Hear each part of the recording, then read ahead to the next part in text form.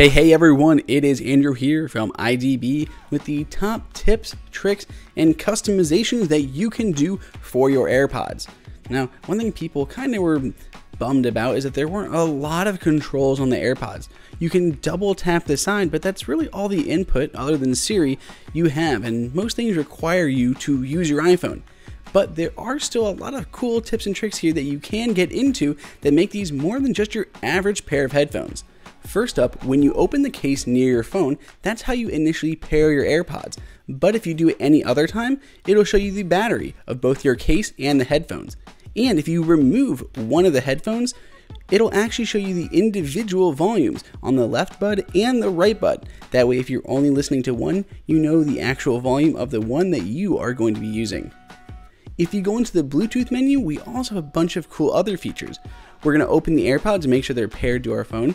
Of course, we have our battery indicator because I held up really close to the phone. But now if I hit on that little eye, unlike many other pairs of headphones, I have all these options. To start, I can name the AirPods. So when that little screen pops up, it'll actually use the proper name that I've given them. Also, when you double tap on the AirPods themselves, you can do different things. For instance, you can use Siri or play pause. I leave it on play pause instead of off or Siri because that's what I do most often. If I really need to get Siri, I prefer just to use the Hey Siri feature of my iPhone. Automatic ear detection can also be toggled, that way the music and audio doesn't pause when you remove them from your ears. You can also assign the microphone to the left or the right AirPod. Normally it'll just switch between, and that's what it's on by default. But if sometimes one isn't picking it up or it's by a window or something, you don't have to let Apple's kind of algorithms dictate it. You can choose it by hand. Now, if you have an Apple Watch, there's even more cool things you can do. For instance, on the Apple Watch, when you swipe up from the bottom and get to the little control center type feature, you can tap on that battery percentage. If you have the AirPods connected, it'll show you both the left and right earbuds remaining battery life.